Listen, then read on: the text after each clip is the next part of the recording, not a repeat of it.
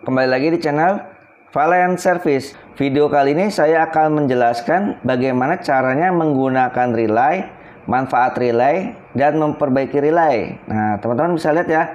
Di sini relaynya saya menggunakan relay 220 volt.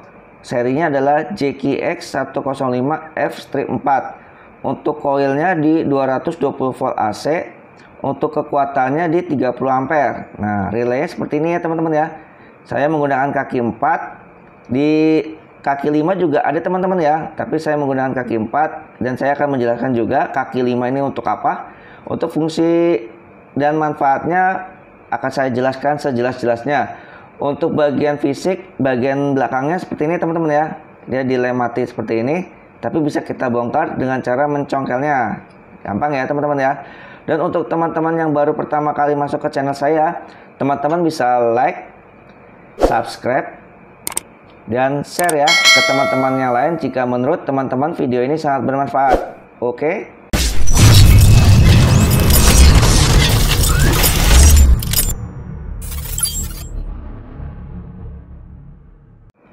Kita mulai teman-teman ya. Di sini ada soket kecil dua piece. Ini untuk memainkan koilnya teman-teman ya atau memainkan relaynya. Ini strum langsung di 220 volt. Nah, di sini ada keterangan COM, NO, dan NC. COM ini kita akan kasihkan strum yang terpisah dari ini teman-teman ya. Jadi ini manfaatnya itu akan berbeda. Nah, ini untuk contoh ini akan mengontrol mengontrol strum yang kita butuhkan ya. Ini kan COM, NO, dan NC. Nah, maksudnya NO dan NC itu adalah normally open, normally close, dan ini COM. Nah, uh, yang nggak ada ini, ini kan NC nih. Nah, fungsinya NC itu kalau ini dikasih arus, ini akan close ya teman-teman ya. Strum yang di sini, uh, yang strum sini terhubung sini tapi di close nih. Terclose ya. Jadi tidak bisa kalau dikasih arus ya. Cuma kalau ini tidak dikasih arus COM dan NC ini terhubung teman-teman. Nah kebalikannya dari NO nah kalau NO itu ini butuh arus ya jadi ini ada arus COM terhubung ke NO kalau ini tidak ada arus COM akan terputus dari NO nah penjelasannya seperti itu teman-teman ya uh, untuk uh, maksud pakai relaynya. Nah, ini penting nih maksud pakai relay itu apa? Uh, sumpama uh, teman-teman untuk controllernya kabelnya kecil, jadi tidak kuat beban besar. Nah, dipasang di sini teman-teman ya, karena ini tidak membutuhkan beban besar. Dan untuk uh, manfaatnya, contoh teman-teman uh, punya heater. Nah, heater itu kan pemanas ya teman-teman ya, dan membutuhkan kabel yang kuat dan ampere yang besar ya teman-teman ya. Nah, bisa di sini nih teman-teman. Strumnya sini. Nah, ntar akan terhubung ke NO. Nah, ini kan kekuatannya 30 ampere ya. Jadi mak maksudnya seperti itu ya. Jadi ngebesarin ampere, kekuatan tahanan ampere gitu ya. Jadi kabelnya itu tidak mudah terbakar. Kalau mah nggak pakai relay nih, pakai kabel kecil, nah otomatis kabel kecil itu akan kalah teman-teman ya. Kabel kecil akan terbakar dan uh, akan merusak komponen-komponen lain. Nah, seperti itu. Jadi ini buat ngebesarin ampernya. Jadi kabel itu aman, si controller juga aman teman-teman ya. Oke, kita tes relaynya ini. Ini relay normal teman-teman ya. Jadi akan saya jelaskan relay normal itu seperti apa. Nah, pasangan soketnya seperti ini. Tinggal kita colok saja. Ada suara teman-teman ya, kita coba.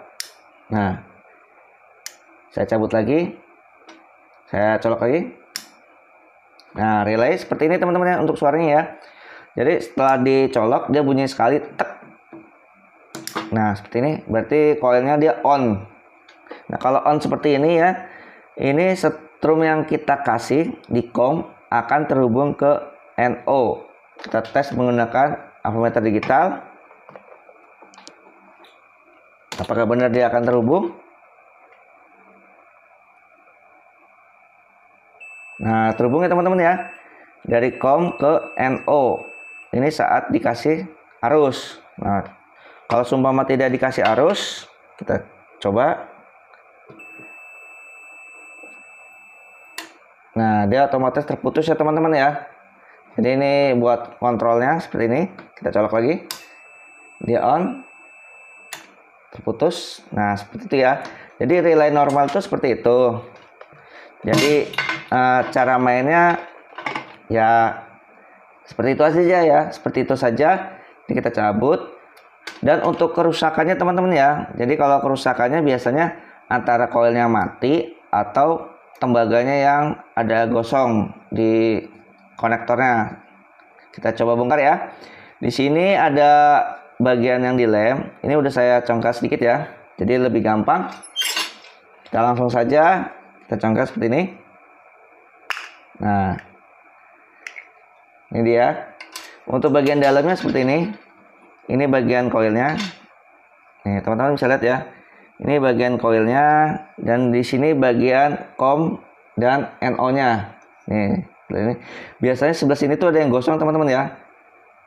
Ini dia. Di bagian tembaga sini ada yang gosong. Karena kan relay mainnya seperti ini nih. Nah, dia mainnya seperti ini. Cetek, cetek, cetek, cetek. Nah, karena pemakaian lama-lama sini ada gosong ya. Jadi mengakibatkan ada spasi. Jadinya saat relay main strumnya tidak terhubung ya teman-teman ya. Dari COM ke NO itu tidak ter, tidak terhubung. Karena ada penghambat di sebelah sini jadi ada gosong ya jadi ada spasi walaupun relaynya main. Nah seperti itu. Kalau sumpama relaynya nggak main atau mati total berarti koilnya yang terbakar teman-teman ya. Biasa itu ya langsung ganti baru. Cuma kalau masih relaynya masih main ya bisa dibersihkan ya di bagian sini nah untuk cara mainnya teman-teman ya. Ini kan tadi kan udah kita tes juga ya. Nih teman-teman bisa lihat cara main koilnya ini. Kita kasih strumnya dulu. Ya teman-teman bisa lihat ya.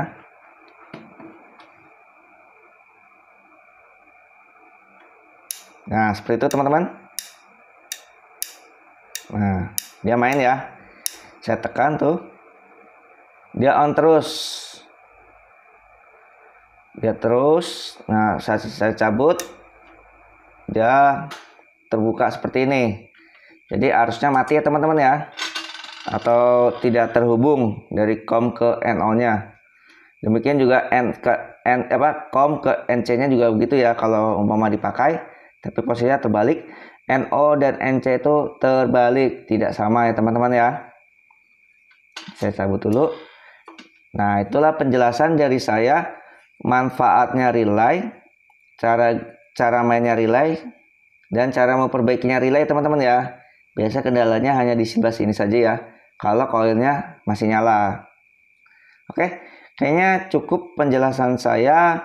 Jika teman-teman masih bingung, teman-teman bisa komen ya teman-teman ya. Bisa komen di kolom komentar. Sepertinya ini saja cukup ya teman-teman ya. Terima kasih sudah menonton. Jangan lupa nonton terus video saya berikutnya ya. Dadah.